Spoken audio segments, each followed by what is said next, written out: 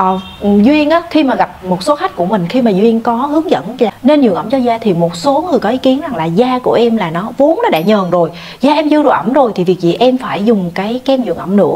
Đây là một trong những cái quan điểm sai lầm trong cái việc lựa chọn và skin care tại nhà dành cho da nhờn. Bởi vì á, cái nguyên lý của da nếu như da bạn quá khô thì nó sẽ kích thích cái tuyến bã nhờn tiết ra nhiều bã nhờn để nó bu lại cái độ ẩm cho da. Cho nên lúc này á, lượng dầu và lượng nước ở trên da nó mất cân bằng. Thì khi mà cái lượng dầu tiết ra quá nhiều vì cái lượng nước nó hao hụt nó thiếu cho nên bã nhờn tiết ra quá nhiều.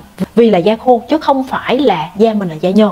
Cho nên là khi mà bạn cung cấp đầy đủ ẩm thân nước cho da thì lúc này trên nền da của bạn nó cân bằng được cái lượng dầu nước ở trên da. Và lúc này bạn để ý là da bạn nó ít tiết ra dầu nhiều. Đối với kem dưỡng ẩm thì bạn có thể lựa chọn hai cái dạng đó là dạng gel và dạng lotion nha. Vì tùy hãng mỹ phẩm có những hãng nó có dạng gel nhưng có những hãng là nó có cái dạng lotion đó, thì bạn có thể lựa chọn những cái dòng nào bạn thấy nó phù hợp nhất với làn da của mình.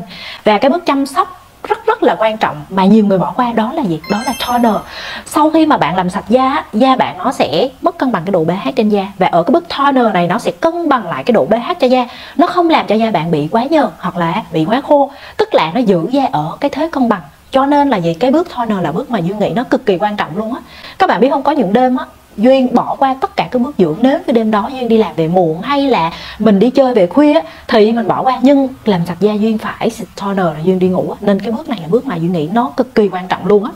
Còn bước tiếp theo là bước thứ năm trong cái việc là gì? Cải thiện cái vấn đề da nhờn, trị da nhờn tại nhà. Đó là gì? Kem chống nắng.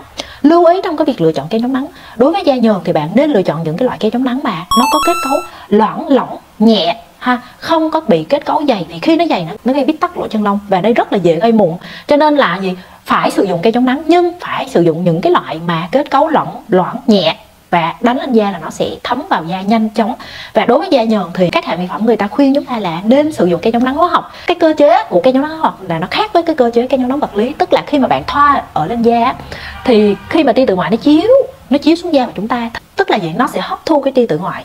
Nó khác với cái cơ chế kem chống nắng vật lý. Đó là kem kem chống nắng vật lý thì nó sẽ phản xạ lại tia tử ngoại. Nhưng đối với kem chống nắng hóa học là nó sẽ hấp thu tia tử ngoại ngay trên bề mặt da. Cho nên với những làn da hơi mỏng, hơi nhạy cảm mà bạn sử dụng kem chống nắng hóa học, thì bạn để cho duyên một điều rằng là khi mà bạn ra nắng da bạn nó sẽ ửng đỏ. Và lúc này á, là kem chống nắng nó phản ứng với tia tử ngoại ở trên bề mặt da. Nên là đối với da dầu thì bạn nên lựa chọn cái loại kem chống nắng hóa học dành cho cái làn da dầu, thì nó sẽ thông thoáng lỗ chân lông của bạn hơn nhé và đó là năm cái cách mà bạn chăm sóc da nhờn. Và với năm cái cách này ha, nó là năm cái cách cơ bản. Bạn nên là gì? Tập trung, chọn và dưỡng tốt. Với năm cái cách này